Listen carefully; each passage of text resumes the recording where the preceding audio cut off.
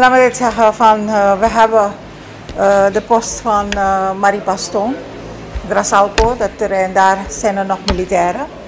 Er is surveillance op de weg samen met de politie. En er zijn daarna gesprekken gevoerd met het clusterteam van ministers, met de president, ook met de inheemse. Er zijn een heleboel dingen al gerealiseerd. Um, en wat ons betreft Defensie is er een gesprek gepland maandag na 12, volgens mij met de FITS. Ja.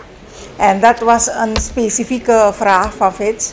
Van hoe kunnen we als Nationaal Leger ondersteunen in de verschillende dorpen om veiligheid uh, te verhogen.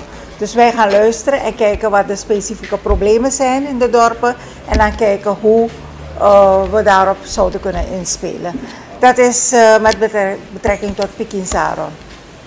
U als minister van Defensie bent ook bekend met het Kalia en Lokolo vonnis, toch? Ja. Dat er een vonnis is uitgesproken door OAS en dat, die, dat het vonnis uitgevoerd moet worden. Een van de zaken in dat vonnis is dat de plek van de inheemse en de tribale afgebakend moet worden. Nu horen we dat de van Justitie daarover praat, ze gaat een demarcatiebord plaatsen. Was dat niet in het licht van het vonnis?